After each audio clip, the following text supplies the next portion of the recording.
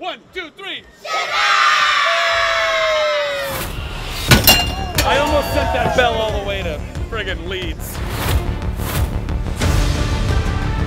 Shazam is an acronym. It stands for the wisdom of Solomon, the strength of Hercules, the stamina of Atlas, the power of Zeus, the courage of Achilles, and the speed of Mercury. So, as a superhero, I'm pretty stacked.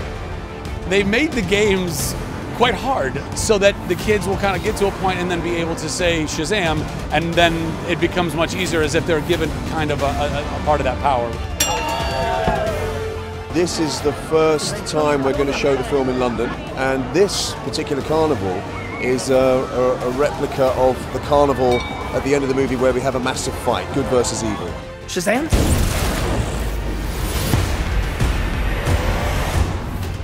Well, we're here to celebrate uh, the European premiere of Shazam. You know, this wonderful new superhero movie with a unique and fun tone, and uh, it's coming out April 5th.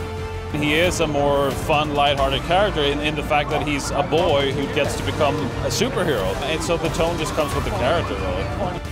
As an adult, you never get to play a kid again. Once you're beyond a kid, you don't really, as an actor, you don't get to play kids. So it's really, really fun to dive into that kind of return to my inner child and uh, and just you know enjoying the wish fulfillment that I'm experiencing personally and that I've always dreamt of being a superhero and always dreamt of playing a superhero so it's all happening man. Oh hey, what's up? I'm a superhero.